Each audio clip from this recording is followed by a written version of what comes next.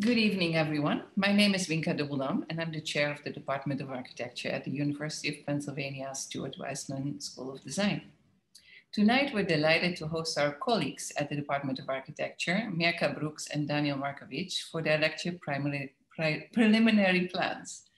This semester, Mirka and Daniel are both teaching our 602 studio, a second year studio in our MArch program where we bring the practice into the design studio and work with external experts and engineers. Uh, their practice informs the students in the best possible way, I should say.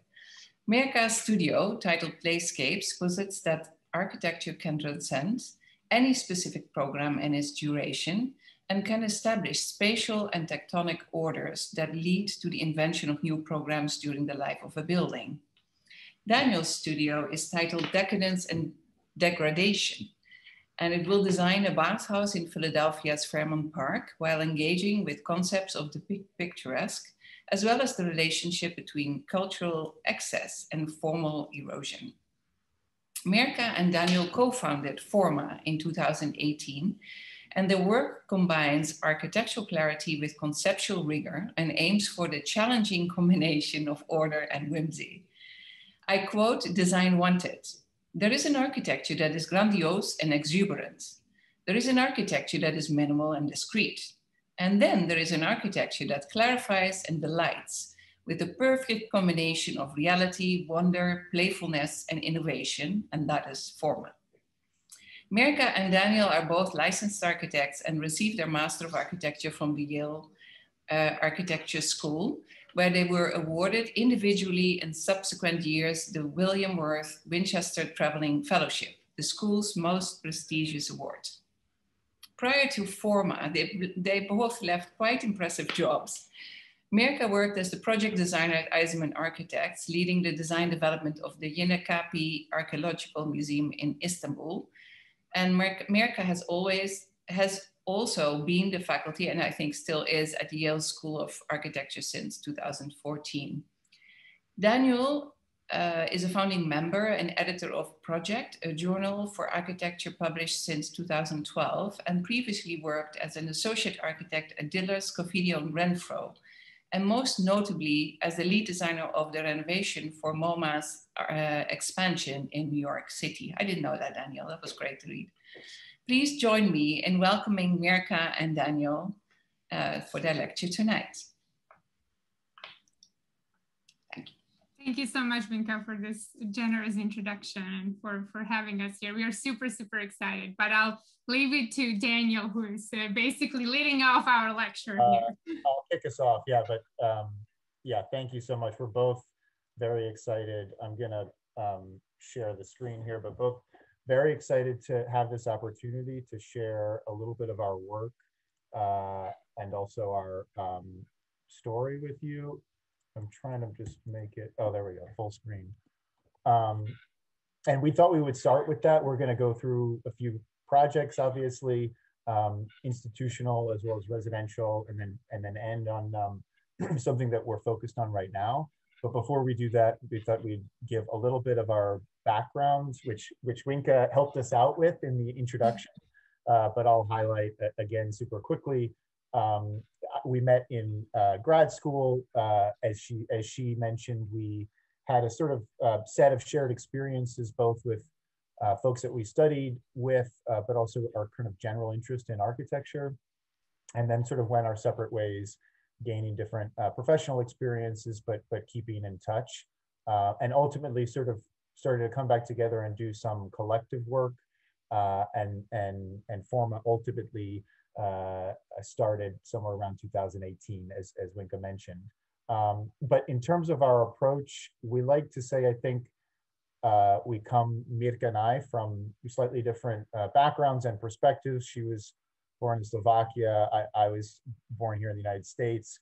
But I think that we bring slightly different attitudes also to the practice, which helps balance it and, and complements it in, in certain ways. And one um, maybe a little anecdote to describe that, we had a interview that, that asked us what our, what our different approaches were in the practice. And we somewhat jokingly said uh, that Mirka expects to design a school on a as yet to be developed colony on Mars.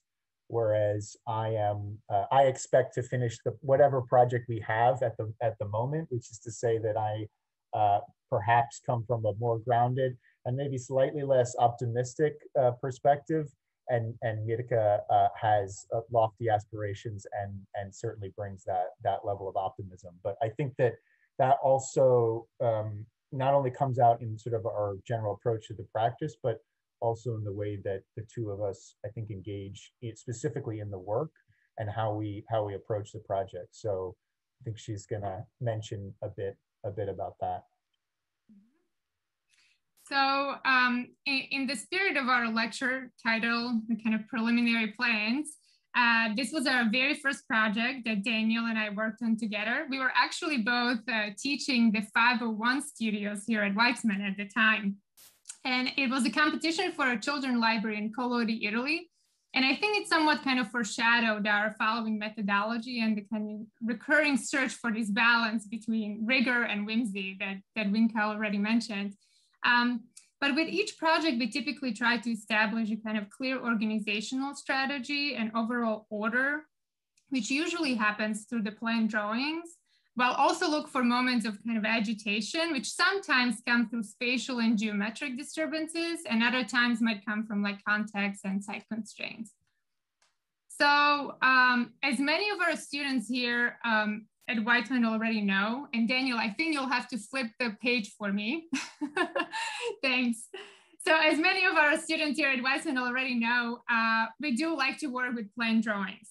So for us, the plan is still one of those kind of fundamental architectural media that allows us to think through the ideas in kind of clear, comprehensive, and rigorous way.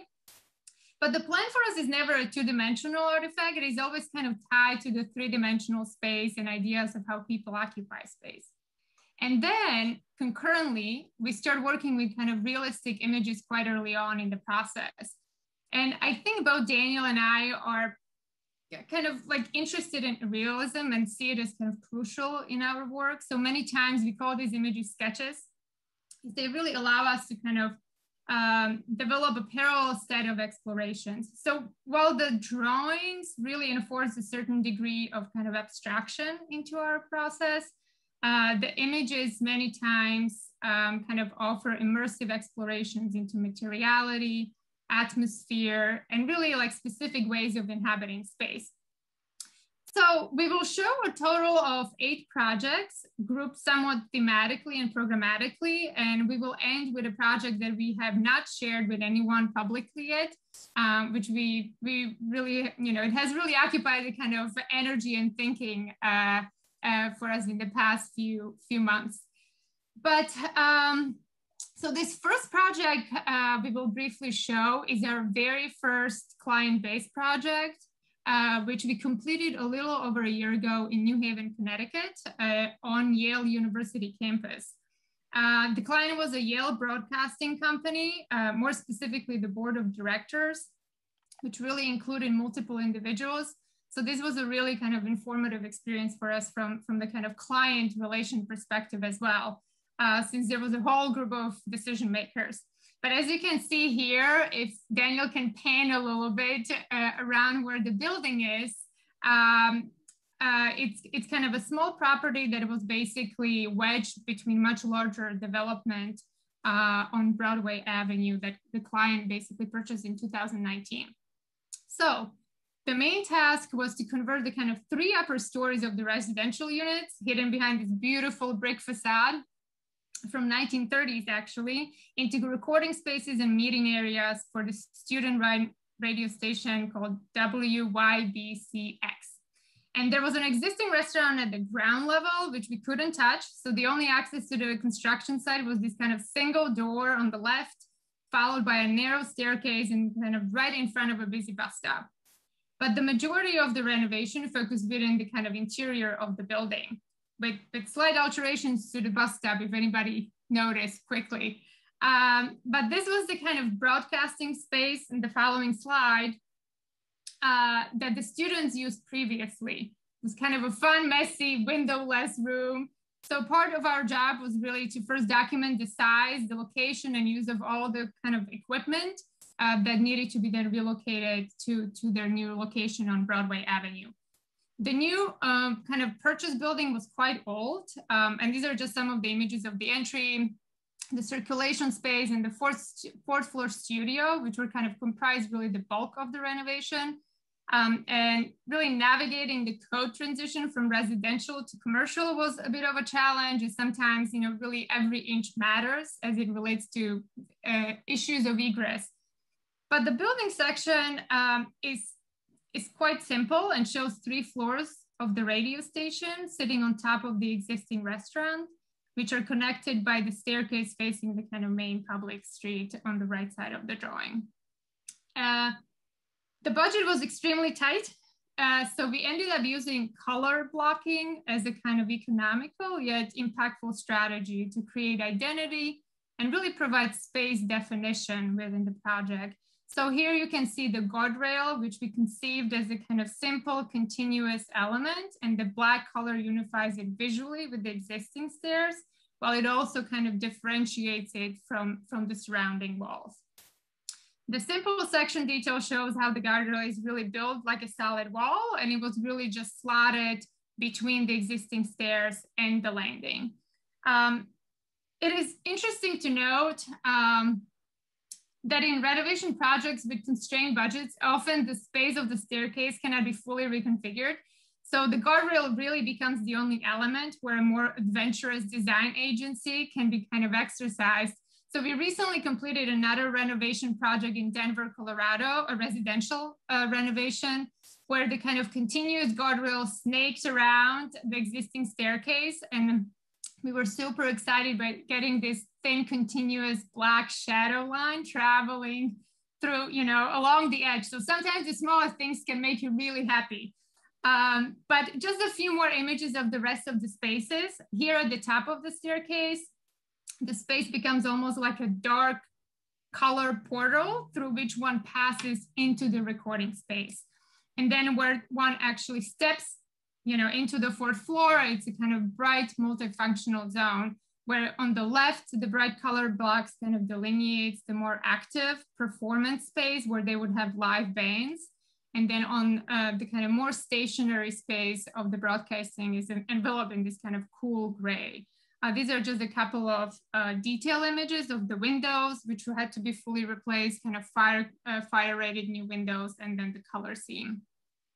Uh, the plan was very simple. Um, just basically we gutted everything out and opened it up to connect across from the front of the building to the back. And then the last image, uh, the view from the kind of performance space towards the broadcasting zone. And If you squint or look, Daniel is there in the background, probably about to broadcast Metallica to Yale undergraduate students. Sorry, Daniel. Okay, so the next uh, two projects are both competitions, uh, which we subsequently kind of set up as, a series of investigations in the office and which we actually each used uh, for framing our current 602 studios uh, here at, at the Weitzman School that Winka just mentioned. So I will talk about uh, the kind of preschool project, which is really the, what the studio that I, my studio is based on. And then Daniel will kind of walk you through um, uh, a bathhouse project, a competition, which he's using for his studio. So uh, as I mentioned at the beginning, although it started quite unintentionally, um, we have been increasingly interested in this relationship between, between rigor and whimsy or between kind of rigidity and order on one side and looseness and disorder on the other side and how, how they can actually coexist together in a project. And like, unlike the previous project I talked about, which had a kind of highly constrained urban site, uh, this competition asked for like a design of a preschool located in a rural area on the southern side of Mozambique. So the first question for us was, what is the local context that can kind of help us situate the project? And then the second one was, how does the building create its own context? Since you can, you can see on the previous slide, the area is kind of sparsely populated with minimal infrastructure, infrastructure, sorry.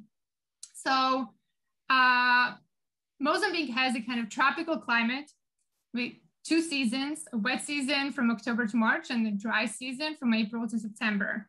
So we wanted to kind of build upon the collective knowledge reflected in the local architecture, which utilizes a series of these kind of tectonic um, techniques, such as the permeable screens you can see in the middle, the masonry walls and elevated roofs, all of which have been developed over time in, in response to local climate and really kind of material availability. And on the left side, of the, uh, you can kind of see the site during the wet season, kind of super lush um, um, landscape.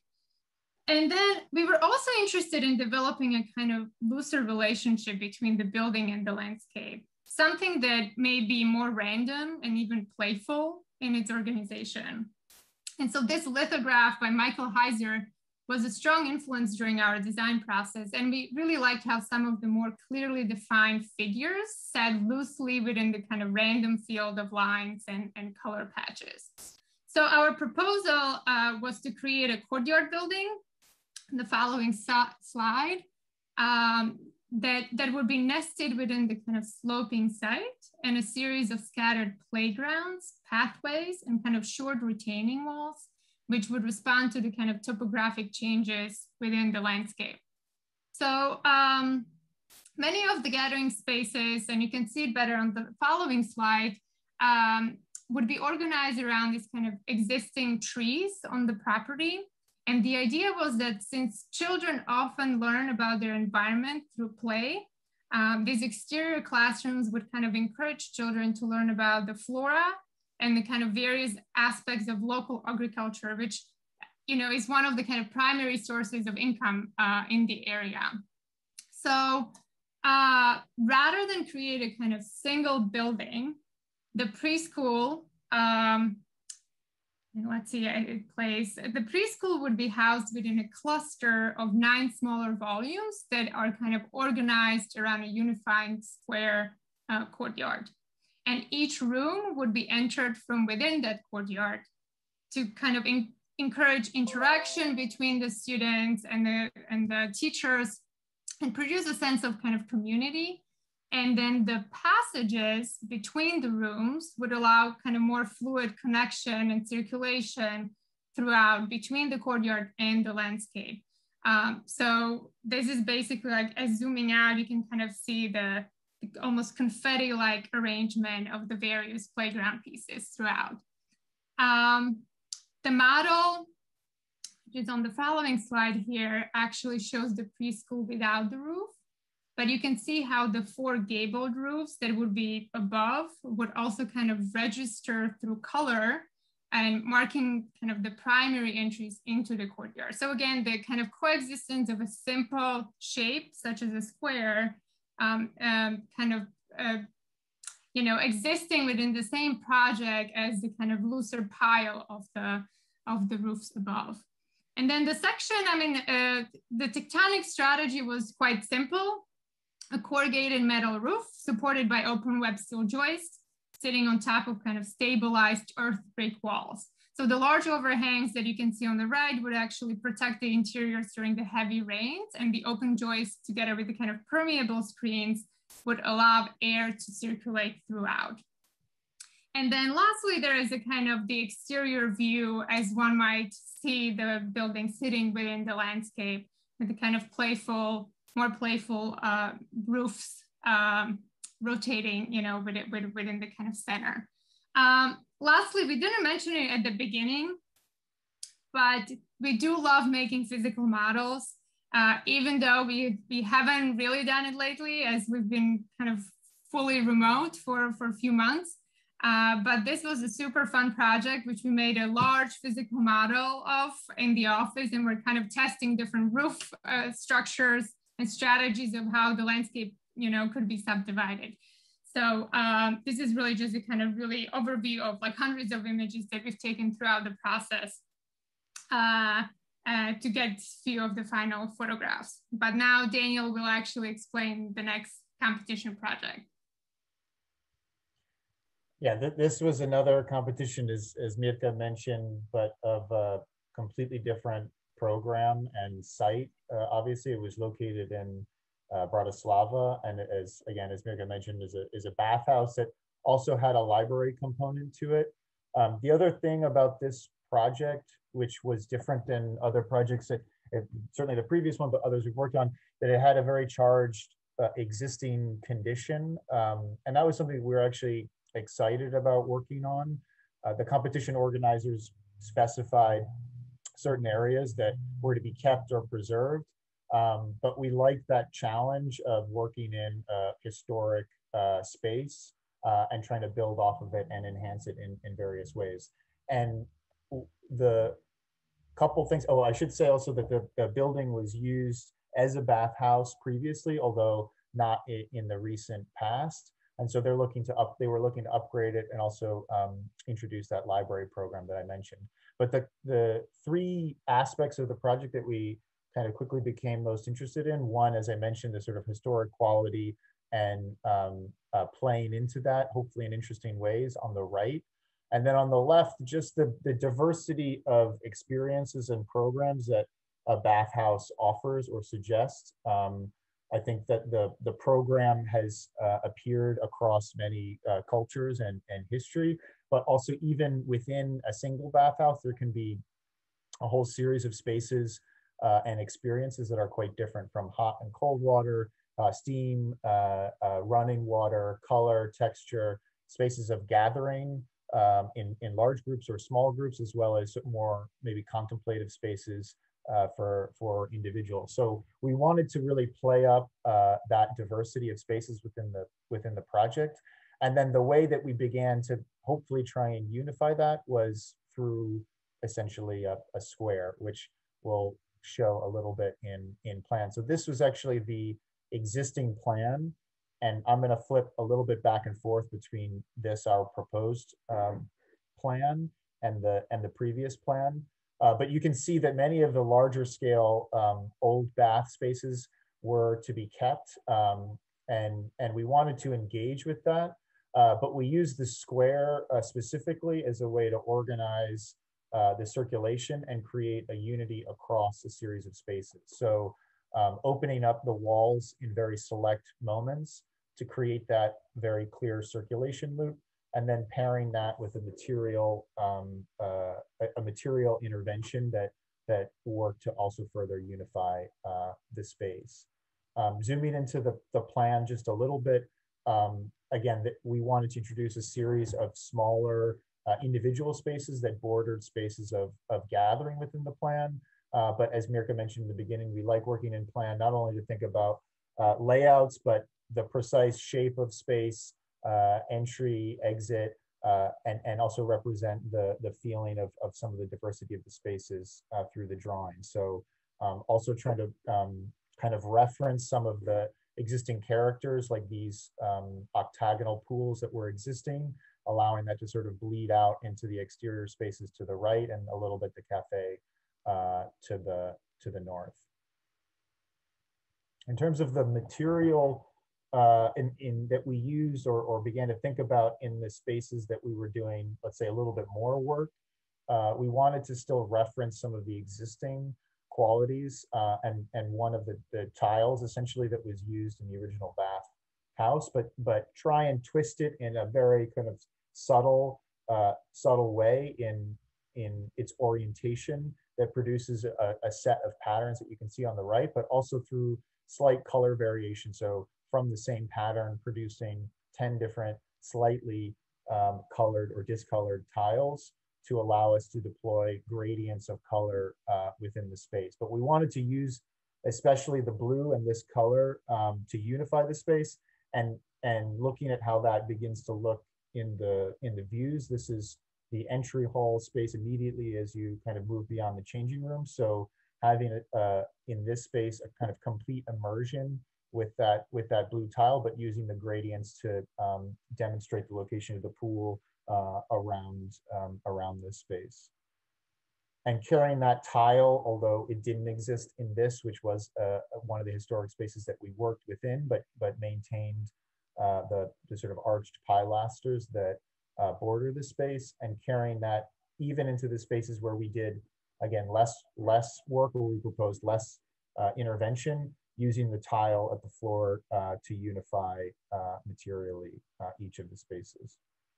I think the section begins to show a little bit our interest in the diversity of uh, spaces that we wanted to produce, um, both through form, access to light above, uh, using vegetation and um, uh, some of the historic uh, aspects, like I mentioned, the, um, the pilasters in, in this vaulted space.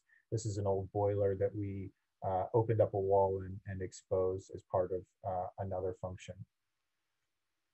But looking at some of the images of, of those spaces quickly, um, using simple forms and, and deploying that material and simple um, introductions of light and entry, even in, let's say, both, and I would call this and, and the following side, uh, sort of grotto-like spaces, but then but spaces that just by the variation, the height and the form produce a very different um, feeling or atmosphere uh, within within the pool. Other other um, rooms that we sort of worked on uh, capitalized on the existing large existing skylights, allowing vegetation to grow. Um, this was a was a more um, experiential space that we you know we became very interested in the caustics that are produced uh, through water. So, you know, with a very shallow reflecting pool skylight, it became uh, became the experience of this of this room.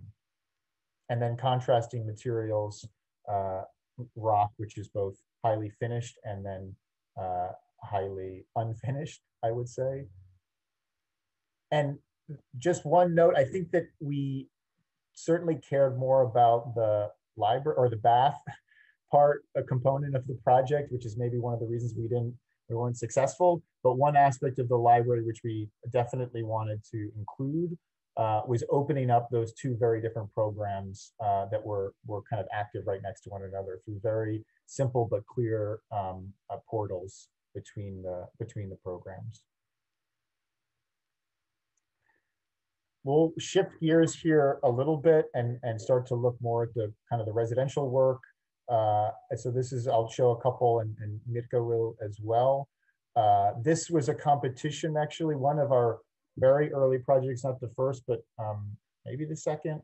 Uh, and it was a competition uh, for a house, a dream house, in fact.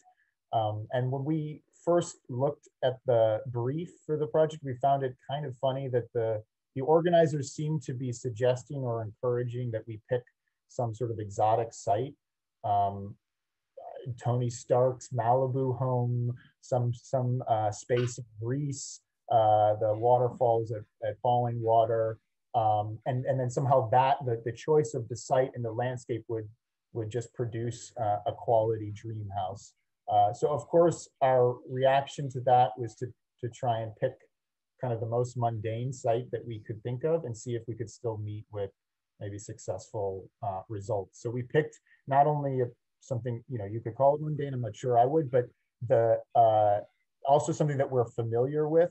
So this was a uh, basically a townhouse lot uh, in Brooklyn, but we still wanted to play into that idea of landscape that seemed to be implicitly uh, encouraged in the in the brief. So we thought um, in urban environments, especially in, in New York City and Brooklyn, sort of access to green space, access to vegetation is, is something in high demand. So we thought, uh, and in this project, maybe more than others, kind of began more with the section. Uh, I think more typically we maybe start in plan, but um, what we wanted to do was was basically draw that um, the green, the, the vegetation and the landscape directly into the into the project and up through the center of it. Um, and so you can see in the section, uh, we've kind of excavated the garden level uh, of the of the townhouse and then carved out uh, a large sort of atrium space in the in the center. And a couple things to note about the section, there was an idea about a, a gradient of vegetation. So we kind of moved from the the most damp, dark, uh, mossy, which might actually grow in a lot of um, Brooklyn townhome basements uh, at the bottom, and then moving up to a kind of more uh, eventually arid, almost desert-like condition at the roof. Um, and the other aspect we in this section that was important to us is the simple organization of the circulation that would lead you into the more public spaces of the project. So from the garden level into the living and kitchen, up to an office parlor and then ultimately the roof deck. And the, the living spaces, the bedrooms were, were located at opposite ends on, on opposite floors and accessible by um, bridge elements, which you can see perhaps a little bit more clearly in the, in the plan. So the stair kind of led you to the public spaces and then the, the bedrooms were somewhat, um, somewhat more uh, private uh, and accessible off the, off the bridges. Another aspect of this that we kind of wanted, and this plays a little bit into the maybe order and, and whimsy or rigor and whimsy, but um, you know, being somewhat constrained in the townhouse uh, lot, we felt like there was an opportunity for a little bit of, of formal uh, exuberance or, or play, uh, probably most notably at the roofscape. And we also like the fact that this sort of complemented the, the section where the energy of the vegetation sort of comes up through the center and almost explodes out the top. Um, maybe explodes a bit too violent for, for what we were really going for. But I think that the, fun of the top level was something that we wanted to play with uh, in, in, in the form of it. And we used a series of um, kind of similar modules that, that, and I think that there's even just two modules in here um, that when rotated combined produced a whole variation of, of conditions uh, in that essentially greenhouse space on the, on the roof. And then just flipping through some of the images, you can see sort of the bit of fun poking out the top um, and the and the excavated garden level uh, at the at the lower level against set against the very consistent um, townhouse facade uh, that kind of lines the lines the street. And then moving up through the project at the garden level, accessing that stair into the living spaces that are framed by that sort of central um, green excavation and section. And ultimately to the roof uh, space that um, uh, essentially garden space uh, up, up above, greenhouse space up above the next uh, project that I'll quickly run through before flipping it back over to Mirka. Um, it was ultimately a competition, although it was something that we were working on beforehand. Uh, we found it productive not to kind of wait for briefs to come our way that we're interested in, but uh, to essentially design the problem ourselves. So we began uh, became interested in a series of essentially coastal beachfront properties and to develop strategies uh, that would work uh, in those conditions. Um, this was uh, located in um, uh, Palm Springs, just north of Miami. And the things that we were interested in that, I think were twofold. One is being a, a kind of beachfront property or coastal condition, the issue of um, uh, rising sea levels and, and coastal erosion, basically the, the building's relationship to the ground being somewhat tenuous was one aspect that we wanted to think about or engage with. And the other aspect was the kind of communal or, or maybe even uh, almost party uh, atmosphere uh, of, a, of a home, uh, of a beach home, so that it might not be something that even one individual or family um, owns and lives in year round, but something that's shared and is more about um, uh, people coming together than it is about um, uh, kind of continuous living. And so what we ultimately ended up developing uh, was a strategy that that worked kind of towards both of those ends. And one of the aspects of, of beach homes that we were looking at that that seemed fairly important, the sort of deck spaces that would open up to the water and to the into the views of the water. And early on in, in testing out different ideas, uh, we started to move that deck uh, up to the up to the roof line. And that did uh, a, a number of things for us. One, maximizing the, the space of that of that deck and that kind of all important uh, space for gathering. Uh, but maybe also more importantly, it freed up the bottom edge of the of the building of the massing to have a, a different and and hopefully more interesting relationship with the ground. So knowing that uh, that that tenuous relationship uh, with the ground is is something to be considered on um, in these locations. That was uh, something that we gravitated towards and something that also worked will show in the images um, sectionally. So the play with the volumes that hang below that roofline was also something that migrated into the plan in, in, in modest moves that with sectional changes within the, within the spaces. In terms of the plan, uh, uh, fairly straightforward, but I think that we, we liked to work um, in that series of modules uh, and have a sort of very clear uh, approach to how the, the, the building was used and accessed. So a central stair volume connects the whole uh, house together from the ground, first floor, second floor, and up to the roof space. The bedroom volumes uh, on the left uh, all share a bathroom and a shared uh, deck and face the kind of more urban side of the site. And then the uh, living spaces opening up the kitchen, living, dining towards the, towards the views. On the second floor, uh, another uh, kind of alternating set of bedrooms. And then we use that space to create uh, larger scale spaces and also hide a small um, plunge pool within the, within the section.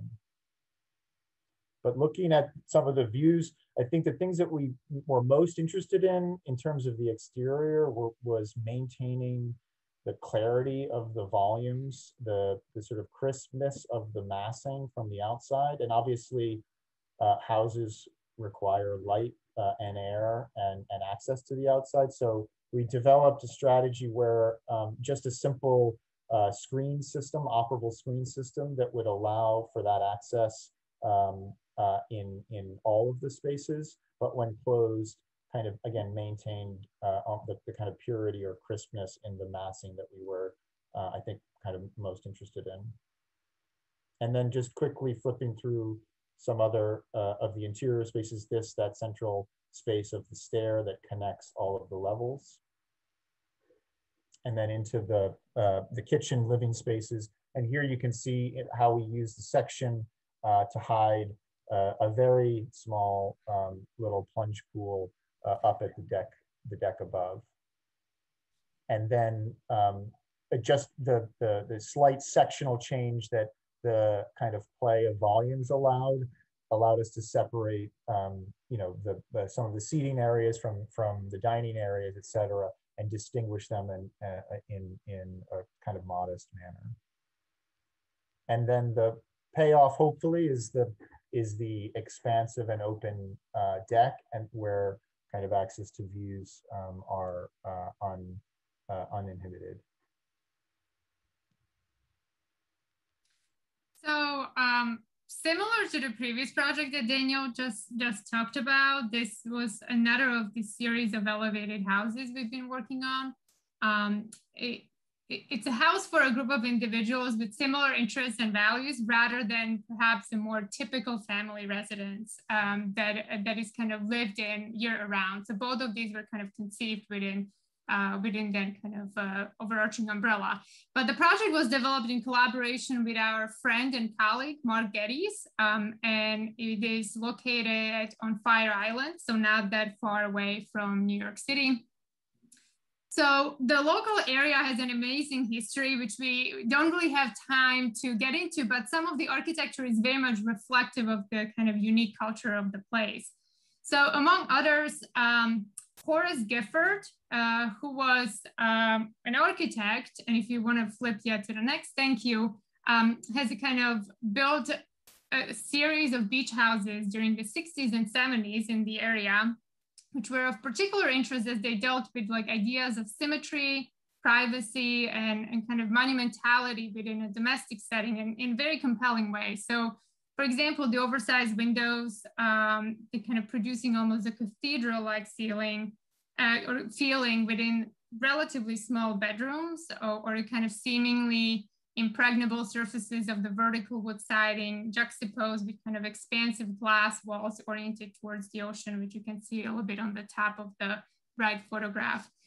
But perhaps what is the kind of most unique feature of, of the site and the town is the boardwalk, which acts really as a public street connecting the private residences. So there are no um, actual roads.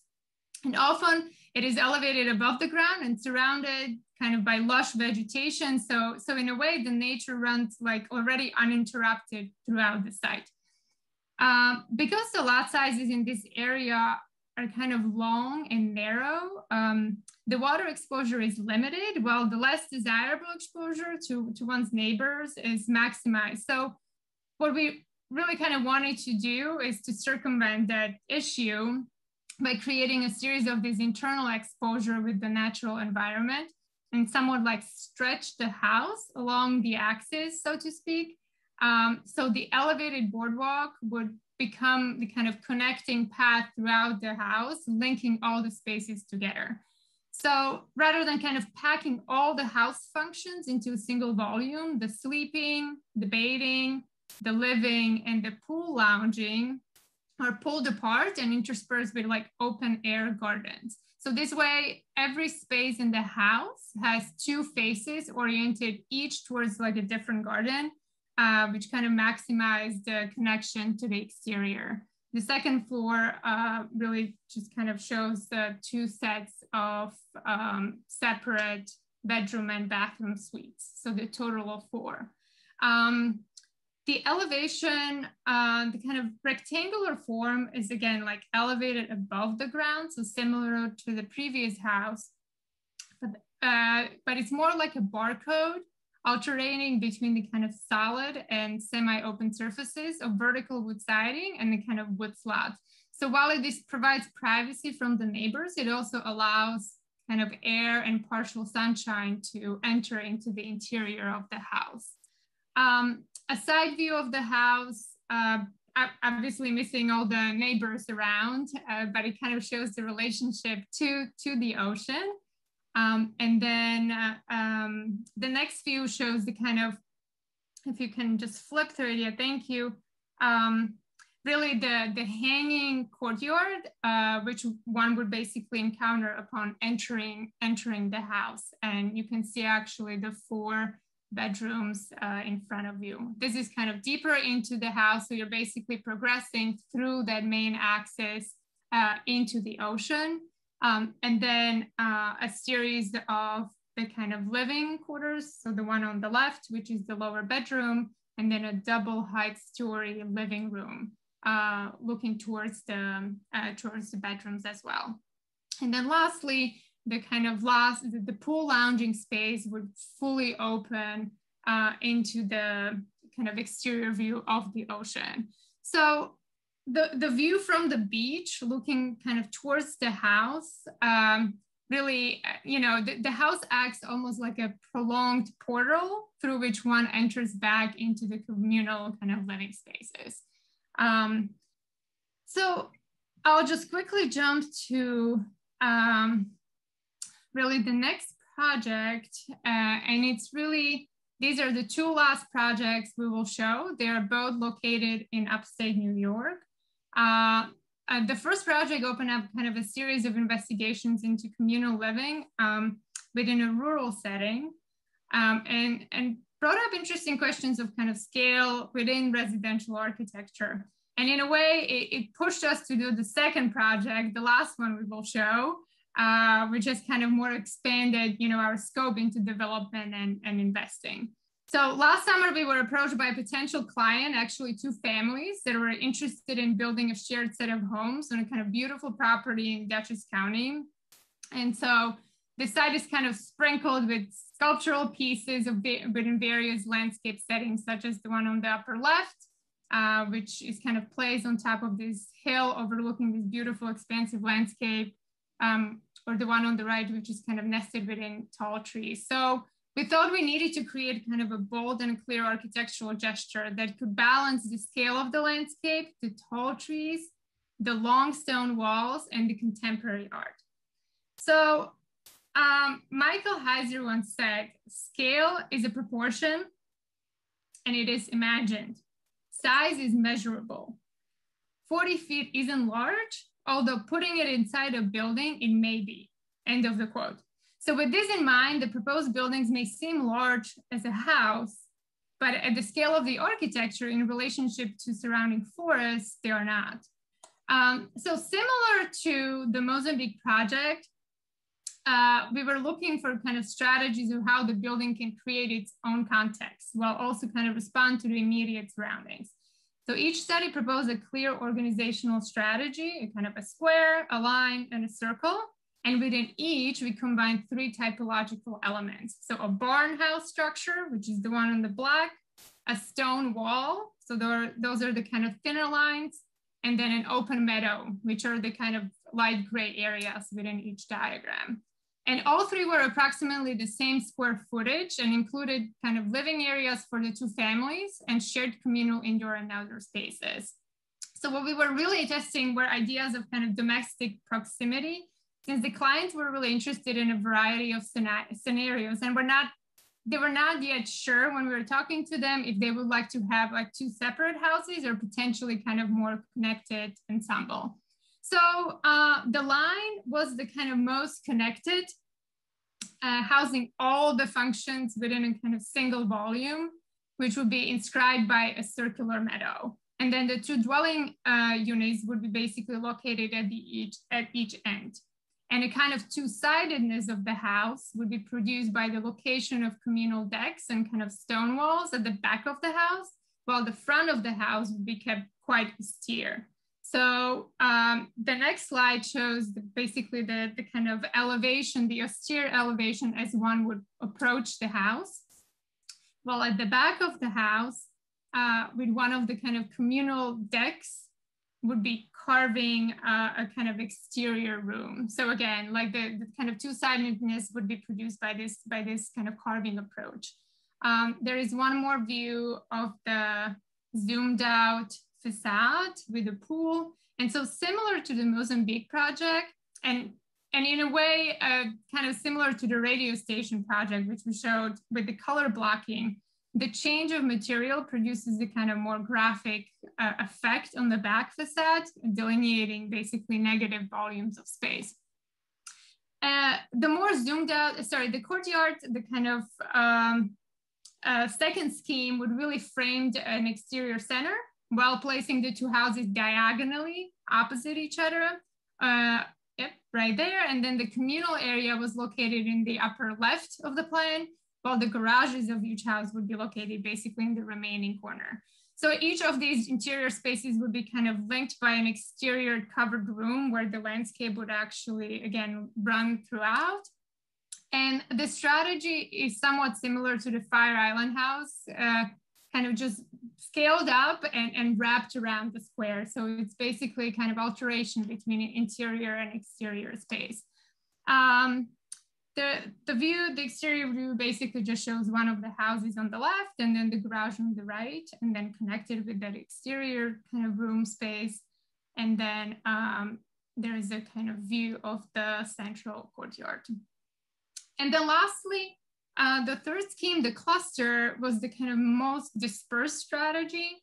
So this really provided kind of most privacy between the two families while still preserving kind of sense of community and connectedness through circular kind of organization and also through like formal self-resemblance of volumes. So that's actually clear to see in, uh, in the rendering and the following view, but basically the, the, this is the kind of entire ensemble and the simple gable form would be replicated at different sizes within the cluster. So uh, one of the houses would be a kind of double large barn with decks on each side. So you can see one on the right side and left. And then another house would be actually a single story aggregation of rooms uh, connected with like decks on either side. And so the kind of self-similar house forms would have kind of radically different interior organizations and, and, and even kind of connections to the landscape while being formally um, self-similar. Uh, so this is our last project we'll show. Um, we didn't end up getting the project that I just talked about, but, but the experience was really kind of incredibly productive for us. And in a, in a way, really jump-started our development project, which this is really what it is. Uh, and this has really occupied our energy for the past past few months. Uh, we've been playing with this idea for a while, but a few kind of near misses really pushed us ahead towards developing our own project. So here we are the client and the developer. And, and we are putting kind of our money, so to speak, on the line. So uh, all of these are basically kind of always hovering, you know, as constraints as, as we were starting to develop this. But um, just kind of walking you through the first initial process, the beginning of fall, more or less, uh, after after we didn't we didn't get the the previous project, uh, we started doing a lot of research into available properties, uh, more specifically like vacant land around Hudson Valley, just due to its proximity to to New York. And we drove around and visited probably 50 or 60 properties on, on either side of, of the river. So this is just a snapshot of a few of them. Some were super large, some were really small, some had kind of incredible steep and forested slopes, other had like open meadows, but with wetlands. Um, some were in like really busy, busy roads uh, and large electrical wiring running through them. But, but through this lengthy process, we really got a sense of what is what what a good development property is.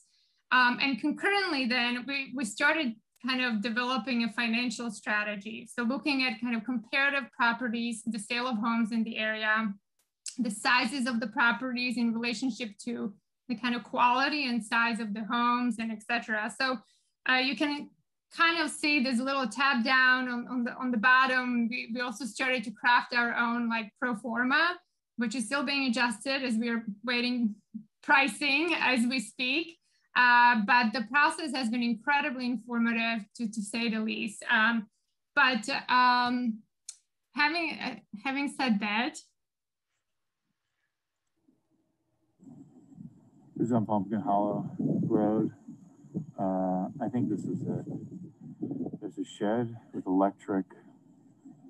There's these views it's freaking cleared. Um, the road is quiet. It's in Hillsdale. Let's just build house here. So yeah, as you can tell, maybe from the video, when we first uh, went to the site, uh, we were fairly excited uh, after the long search, but but also, I mean, primarily because it had all of the attributes that we were kind of looking for and excited uh, to build within. Yeah, you can see the excitement. uh, but it, you know, it, it, it was a gently sloped site that worked up to a hill, ultimately where we um, sited the house, a wooded area, quiet street, secluded.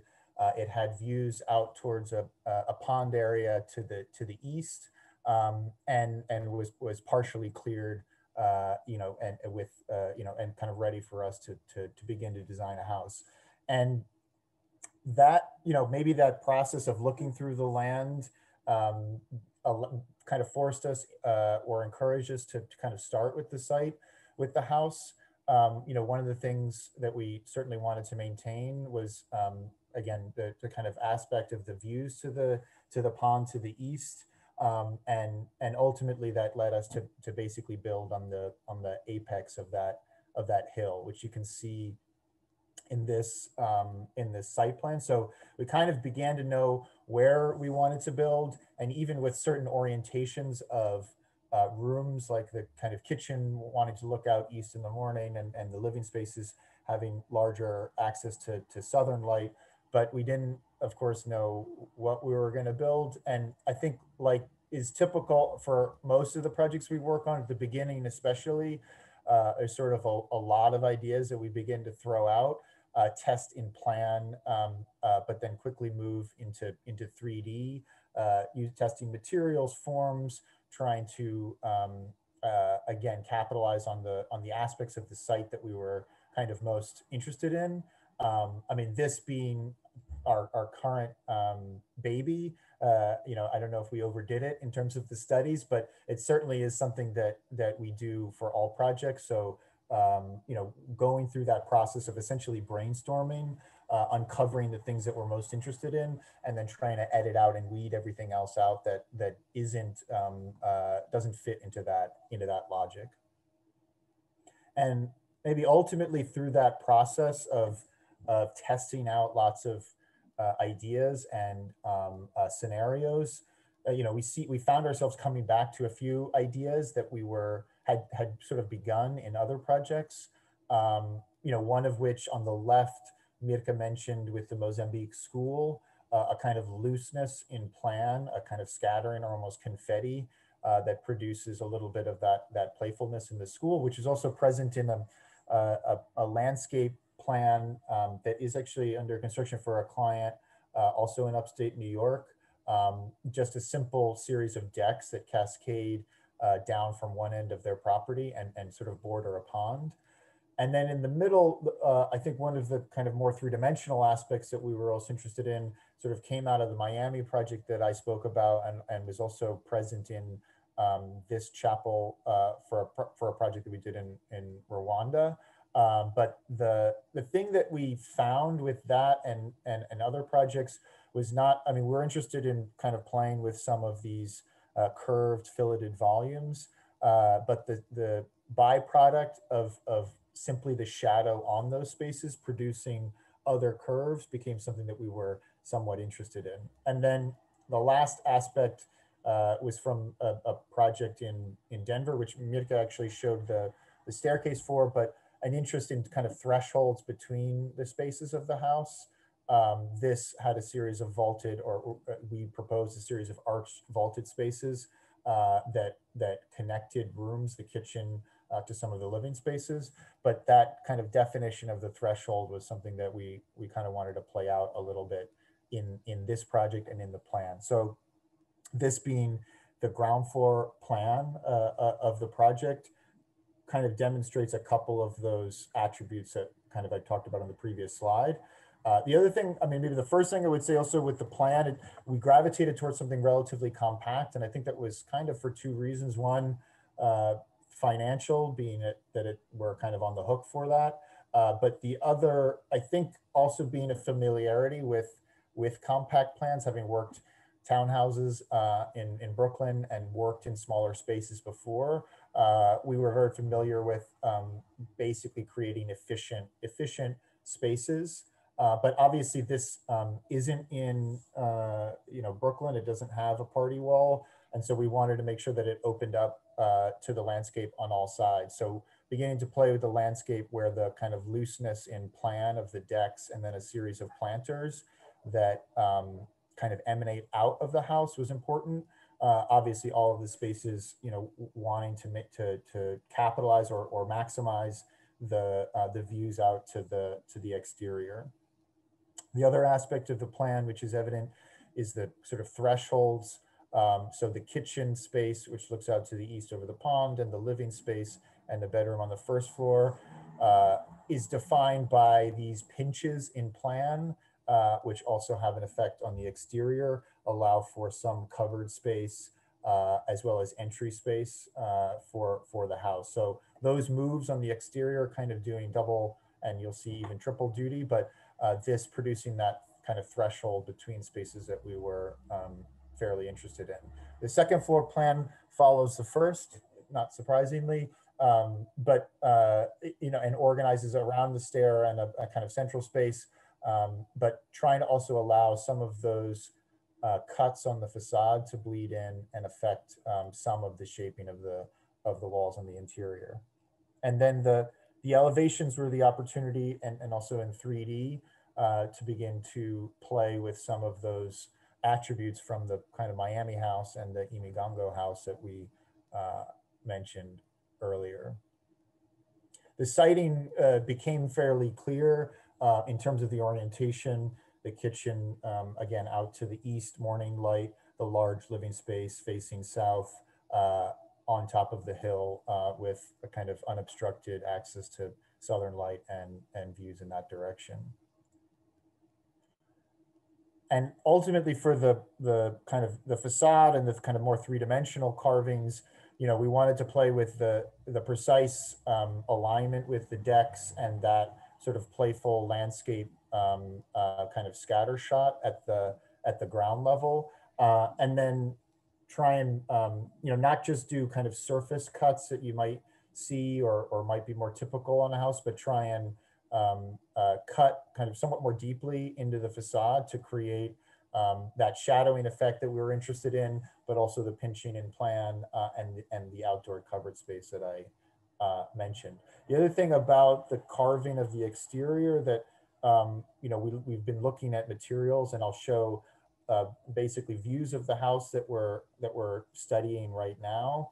Uh, but we wanted to use the materials, uh, again, to accentuate that those carving uh, moments on the house. So very simply with sort of kind of warmer uh, wood set against a kind of cooler standing seam metal uh, to bring to bring that out. This is the the north um, kind of entry facade and your sort of introduction to the house. And then moving to the to the other side, that kind of moment I keep mentioning that fairly interested in, but the kind of play of shadow uh, on the building. And looking from the east out towards the other kind of set of very distant mountain views. Uh, this view also shows our interest in, in the various deck spaces that we wanted to create. So um, one in the middle of the page, you can see um, bleeding right off of the living space in the center. And then in the foreground, the, a, a smaller deck that uh, sort of belongs to the kitchen, uh, which is here, which we'll look at. In terms of the interior spaces, we wanted to keep um, especially the kitchen kind of relatively um, muted so that the focus was on the orientation and, and the views. So kind of minimal color palette, um, uh, kind of a minimal shelving above, but still a layout that works uh, hopefully for somebody who purchased the house. And also, yeah, in this view, I mean, the kind of materiality, if you just go back one second, starts to relate a little bit more to the landscape. So like the kind of line of the stone, as you can see, kind of travels through and picks up in the horizon um, behind, uh, behind the windows. So it's the kind of collapse of the foreground and the background, uh, which is quite interesting. And then in the, the main living space, obviously that kind of visual and access to the outside that is kind of all important. Um, trying to play into that a little bit by allowing the deck to feel as if it's actually coming into the space. So the exterior is actually coming into that to that main living space through the uh, articulation of the floorboards at the at the ground, but also the ceiling uh, and a little bit that kind of color blocking that we played with uh, before. Uh, the other aspect of this which we um, found from carving the facade was was opening the windows on kind of three sides. So the, the room actually feels like it's being kind of pushed out uh, into the exterior when in fact it's in the center of the of the plan and, and actually bordered by um, uh, other uh, areas of the of the house. And then just kind of the overall view from the from the south, kind of showing how all of that uh, comes comes together but we're not uh, we're not uh, done with this project, obviously, uh, but only so we're this is where we are now. We've done some additional clearing. We have plenty of wood chips, um, uh, and as Mirka said, are kind of awaiting uh, pricing uh, before we hopefully start uh, construction on this in in a month or or so. Um, but that that brings us to the end of the the lecture. We're very happy and excited to um, have a discussion with you all, uh, answer questions, and um, uh, discuss further. Yeah, thanks for sticking around until the end.